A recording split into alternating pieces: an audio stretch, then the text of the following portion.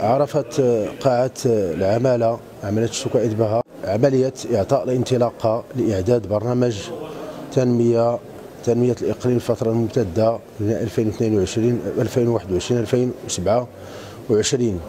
وكان لقاء غنيا تخللته تخلله عروض مقدمة من طرف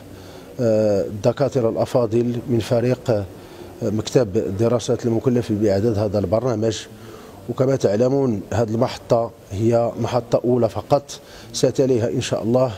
محطات أخرى وأهمها المحطة التي سنفعلها أو سنباشرها مباشرة بعد عيد الفطر المبارك إن شاء الله اللي غتكون هي في اللقاءات التشاورية بين اللي هي الآلية التشاركية والتشاورية اللي هي 14 آلية كما يحددها بذلك القانون الداخلي للمجلس. وسنشرع إن شاء الله يوم 9 يونيو 9 ماي عفوا إن شاء الله في عقد أول لقاء تشاوري في بلدية ايت باها وستليها لقاءات تشاوريه أخرى وهذا اللقاء التشاوري ستدوم إن شاء الله شهر يعني ثلاث شهر ماي وبعد ذلك بعد استجماع هذه المعلومات سيتم تحديد الأولويات أولويات التنمويه بالإقليم بطبيعة الحال هذه العملية ستتم من طرف مكتب المجلس بمعية مكتب الدراسات المكلف بأعداد هذه الدراسة هذه. بعد تحديد الأولويات بطبيعة الحال سيتم تحديد المشاريع التي ستنجز وبعد ذلك سنقوم بتقييم يعني الموارد المالية قصد ملائمتها مع هذه المشاريع المقترحة. وفي الأخير سيتم إعداد أو صياغة التقرير الأخير لهذا المخطط الإقليمي للتنمية قبل عرضه على اللجان الدائمة للمجلس وبعدها سيتم عرضه للمصادقة على أعضاء المجلس الإقليمي. وهذه هي المراحل وبالتالي فهذا مسلسل يحتاج وقت وإن شاء الله نحن عاقدين العزم على إنجاح جميع المحطات إن شاء الله. ونشكركم كذلك على اهتمامكم الدائم بما يدور بهذا الإقليم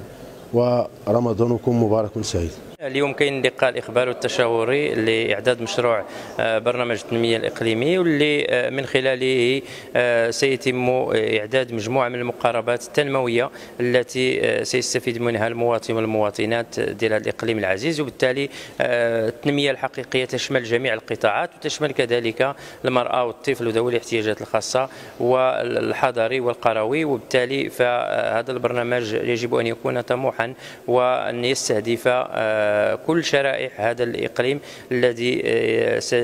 ستجد أو سيجد فيه القطاعات الأخرى وكذلك الجماعات الترابية وكذلك جمعيات المجتمع المدني آه، ضالتهم. بالتالي آه، تنمية حقيقية لهذا الإقليم التي ينشدها جلالة الملك. وهذا المعطى أساسي في بناء مستقبل التراب خصوصا في ظل إعداد تصور شامل واستشرافي لمستقبل الجهة استنادا إلى تصميم جهوي لإعلان التراب ويعد التصميم الوسيلة الأساسية للتخطيط والبرمجة المجالية ويمكن من وضع برامج ومشاريع للتنمية المستدامة على مستوى الجهة مشكلا بذلك تصورا حول مستقبل التنمية في الجهة عادل المفكير نائب رئيس الجهة المكلف باعداد التراب. آه، اليوم آه، إحنا هنا في إقليم شتوكا ايتباها في إطار الانطلاق برنامج التنمية ديال إقليم شتوكا ايتباها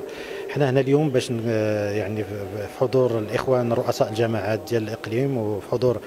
السيد رئيس المجلس الإقليمي وكذلك ممثل السيد رئيس السيد عامل صاحب جلالة وكذلك المصالح الخارجية. إحنا هنا اليوم باش نقولوا ناكدوا على الدعم ديالنا اللامشروط ديال جهة سوز مسا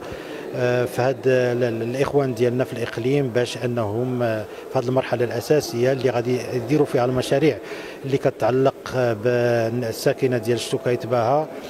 واللي أنها باش تعطي المكانة الحقيقية والمكانة التي يستحقها إقليم شتوكا ايتباها جهويا ووطنيا. وذلك آه، كان بنيو على آه، الخطاب ديال جلالة الملك محمد السادس آه، في المسيرة الخضراء اللي كيقول بأن سوس مسا هي وسط المغرب وأنها يجب أن تأخذ المكانه التي تستحقها. وكما كتعرفوا فشتوكا بها هي واحد الإقليم وهي واحد المعادله صعبة وطنيا وجهويا بحيث أنها في الأزمة ديال الكوفيد بينت بأنها كتحقق أو لا انها لعبت دور أساسي في تحقيق الأمن الغذائي واليوم كذلك فهي واحد المرحله في هذا الإطار ديال ندرة المياه فكتبين كذلك بأنها كتحقق الأمن المائي وبالتالي فكما شفتوا كاتبها بهذا العطاء السخي فكنتمنوا انه في الولايه المقبلة إن شاء الله أنها تأخذ بقدر ما كتعطي وشكرا جزيلا. تابعونا على مواقع التواصل الاجتماعي. ليصلكم كل جديد.